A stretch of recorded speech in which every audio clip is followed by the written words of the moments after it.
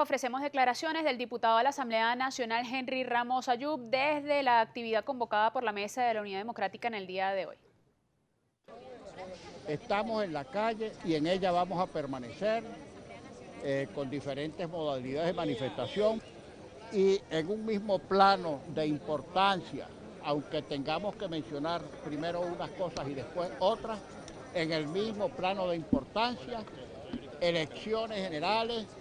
fijación del calendario electoral, liberación de todos los presos políticos y regreso de todos los exiliados por las mismas razones,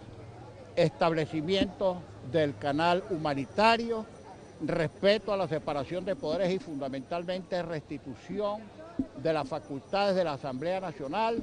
infraccionadas por decisiones írritas de la Sala Constitucional del Tribunal Supremo de Justicia. No puede haber democracia si no se hacen elecciones cuando correspondan hacerlas